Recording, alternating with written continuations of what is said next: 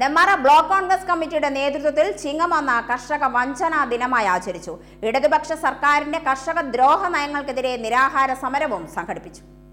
നെല്ല് സംഭരണത്തിൽ കാലതാമസം വരുത്തിയ സർക്കാർ സംഭരിച്ച നെല്ലിന് മാസങ്ങളായി പണം തരാതെ കർഷകരുടെ ജീവിതത്തെ ദുരിതക്കയത്തിലേക്ക് തള്ളിവിട്ട് ആത്മഹത്യയിലേക്ക് നയിക്കുകയാണെന്ന ബ്ലോക്ക് കോൺഗ്രസ് കമ്മിറ്റി ആരോപിച്ചു.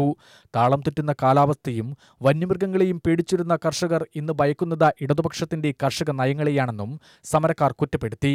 മുന്നമിലെ കെ. എ ചന്ദ്രൻ ഉദ്ഘാടനം ചെയ്തു. അധികാരത്തിലേറിയ നാൾ മുതൽ കർഷകരെ എങ്ങനെ ദ്രോഹിക്കാമെന്നതിൽ എൽ. ഡി. എഫ്. സർക്കാർ ഗവേഷണം നടത്തുകയാണെന്നും കെ. എ ചന്ദ്രൻ പറഞ്ഞു. മേൽനോട്ടം വഹിക്കുന്ന കൃഷി ഓഫീസർ തൊട്ട് അതിന്റെ ചെലവെന്ത് വരും? കണക്കിനുണ്ട്.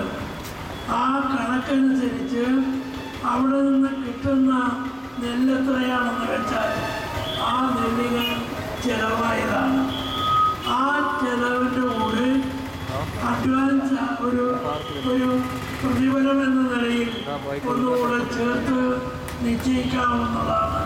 വില അല്ലാതെ ഇത് അമേരിക്കയിൽ നിന്നും റഷ്യയിൽ നിന്നും ചൈനയിൽ നിന്നും ഒന്നും ചോദിച്ച് നിശ്ചയിക്കേണ്ടതല്ല. ഇവിടുത്തെ പാടത്ത് ഇവിടുത്തെ കൃഷി വിളയിപ്പിക്കുന്ന കൃഷി ഓഫീസർമാർക്ക് ഔദ്യോഗിക കണക്കനുസരിച്ച് എന്ത് ചെലവ് വരുന്നോ ആ ചെലവ് പ്ലസ് ഒരു ബോണസ് ഇതിന് പകരം ആ നെല്ല് നില നിശ്ചയിക്കുന്നതിന് ഒരുപാട് കാലതാമസം. അത് അപര്യാപ്തമാണ്. ബ്ലോക്ക് കോൺഗ്രസ് പ്രസിഡന്റ് വിനോദ് ചക്രായി അധ്യക്ഷത വഹിച്ചു. D C C secretary M Padmagireeshan K P S T ജില്ലാ president Shaji S Thekkethil panchayat president Prabhitha Jayan K E Abbas Congress മണ്ഡലം president R Suresh C C Sunil മറ്റു ഭാരവാഹികൾ പ്രസംഗിച്ചു.